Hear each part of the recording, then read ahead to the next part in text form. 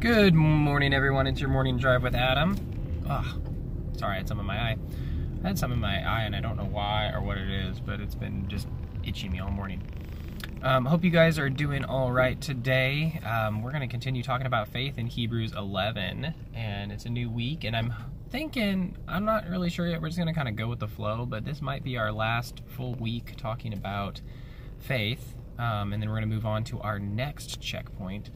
Um, but continuing on in, in, 11, where we left off, we had Isaac on Friday, and um, he we basically talked about um, seeing the blessings and not being able to know, like, kind of putting your trust back into people. Well, if you remember, he had two sons, Jacob and Esau, and Esau was um, a very hairy man, and Jacob was a very deceiving man. Well, after Jacob steals the blessing from his father, he runs away. And this is where we're going to talk about the faith of Jacob. And a little bit about his backstory. He runs away, runs to his uncle Laban, um, and ends up, this is like one of those distant uncle kind of things. Um, and he has like, Laban has some um, um, uh, daughters and stuff like that. And he starts working for Laban, and it's almost like slave labor. And Laban's not a really great man. Um, but he has two daughters, one of them uh, Rachel and one of them Leah. Leah's the older daughter, and apparently she wasn't all that great looking, sadly. But apparently Jacob really liked Rachel. And so he was going, he wanted to marry Rachel. So he says, Laban says, fine, if you want to marry my daughter, you need to be, um, uh, you need to make sure that you're working, or you need to work for me for seven years. So he works for seven years. Seven long years. And during their wedding ceremony, we don't exactly know what it looked like, but they would have like the veil over the bride. Well, the veil, I guess, was so thick and it, was dark out or something. I don't really know. Laban tricks uh, Jacob and he ends up marrying his eldest daughter, Leah, first. And back then, you know, it was bi binding, so he was married to Leah. So if he wanted Rachel now, because it was back then you could take multiple wives, not something you really want to do today, just so you know. Um, but you could take um, uh, you could take multiple wives, and he wanted um, to have actually he really wanted to have uh, Rachel as his wife. So he worked seven more years and finally got to marry Rachel. And there's a reason why you don't want to have multiple wives, which we'll see here in, in a bit. But uh, fast forward a little bit, Jacob is not the greatest. Uh, he ends up, all right, Rachel can't seem to really have kids or struggles having kids. So Leah, he has a bunch of kids with Leah. Um, is it 11, 10 or 11? I think it's 11. Anyway, he has a lot of kids with Leah, with Leah, and then in the middle of them all, he ends up finally having Jacob with Rachel. Now, here's where the problem starts, because with whenever you have a favorite wife, you'll obviously have a favorite child, and Jacob ends up having a favorite child in in Joseph and Joseph being the, I don't know what I said earlier, but Joseph is the favorite child. Later on, um, he ends up having another kid with Rachel named Benjamin, and Benjamin becomes the favorite as well. Well, he ends up like showering blessings upon Joseph, Jacob does, and uh, at one point he, well, this is this comes later, but before that, sorry, he was with Laban. There's a lot more to the story with Joseph too, but before Laban, um, he. Uh, ends up running away from Laban, and there's like this whole convoluted story about it too. And he like kind of tricks him, and he's heading back uh, into um, back to his home country. And remember, he ran away from that country because he tricked his father and was, uh, you know, scared to death that his brother Esau was going to kill him. Like he just was scared to death. So he ends up running away. He ends up tricking Laban. Long story. Uh, you should read it. Definitely read it because it's very, very, very interesting goes into um, Esau, get, get, like goes towards Esau, and like the whole time he's expecting Esau to like, um, you know, want to kill him. Well, there's like a whole crew of people that comes towards uh, Jacob as they're approaching this land, and Jacob's like, oh, I'm gonna die, I'm gonna die. Sure enough, it was a welcome party, and Esau is ecstatic to see his brother. He's like, Come on in, we can share this place, I'll have a great feast for you. And that's why Esau, I just love Esau, because he's just like a good old guy. Like, he's just a you know, honest, hardworking um, guy who just focuses on the things that he can take care of and doesn't focus too much on, on the stuff that he doesn't really care about. Like, I really enjoy um, Esau's character that way.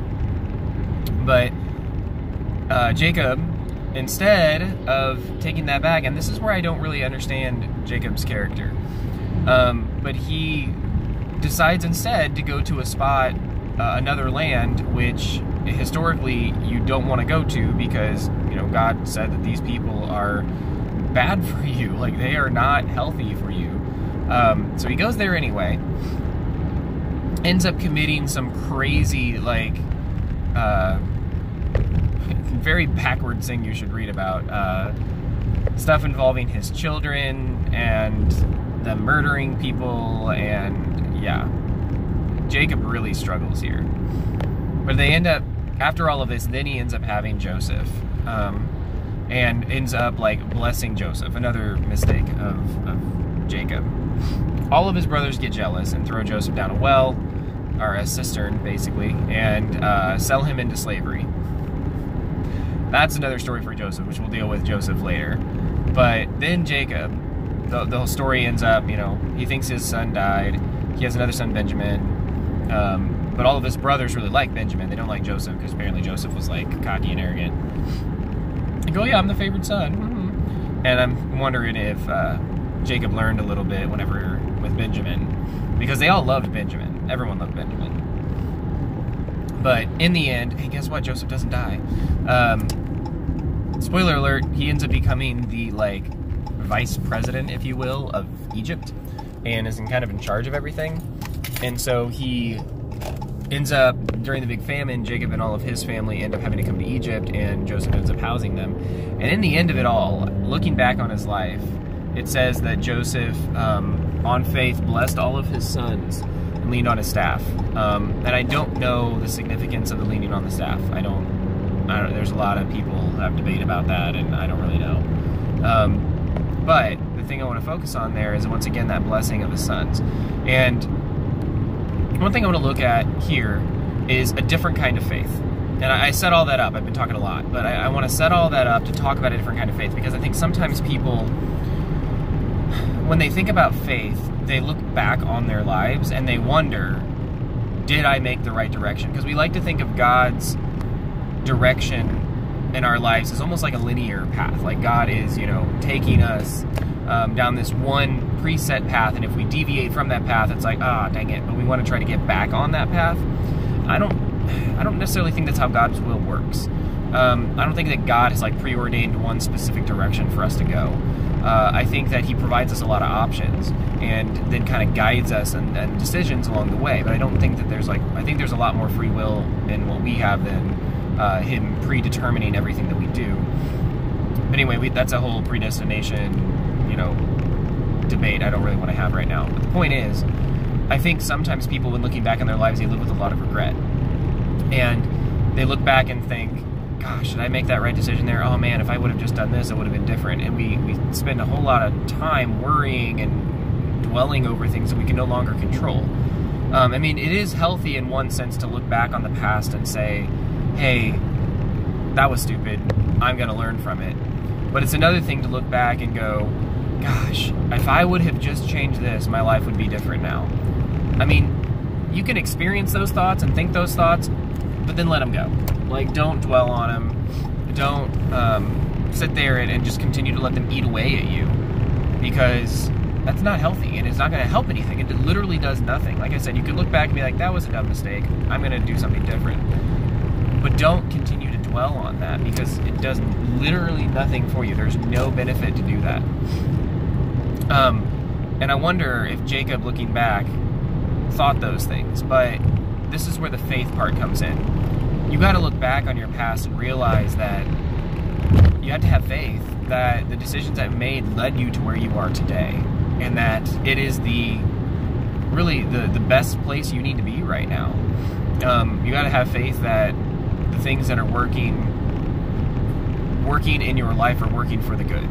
Romans uh, 8 talks about how God works for the good for all those who follow, or God works for the good for all of those who are following according to His will, something like that. I'm butchering that, um, but uh, anyway, you get the idea that uh, God is working for the good for people, and we got to have faith. That looking back, we can't live in regret. We can't look back and continue to you know hate on ourselves and and belittle ourselves. We got to live in faith that the decisions we made are for a purpose and are working towards the good. Even the ones that are bad, God is using them for the good.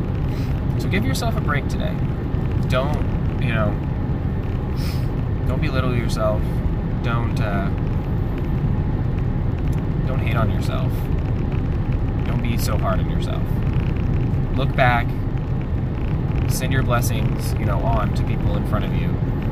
And I'm ex- I'm extrapolating for this, but lean on your staff. You know, look back and with some, I guess, with some dignity at your on your own life, and some honor uh, on what you've done, even through the mistakes.